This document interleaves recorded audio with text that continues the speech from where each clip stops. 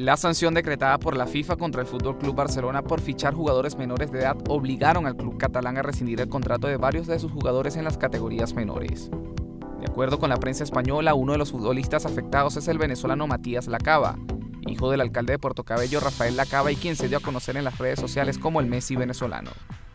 El futbolista de 13 años disputó varios partidos en la cantera culé la temporada pasada, pero ahora el club decidió romper el vínculo que los unía para evitar que se pueda incurrir en una violación.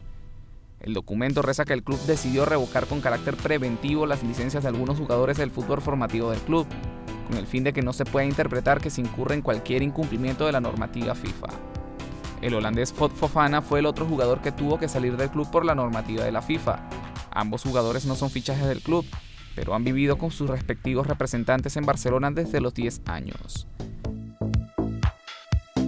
Desde nuestra plataforma multimedia en Caracas, Víctor de Abreu, Noti Minuto.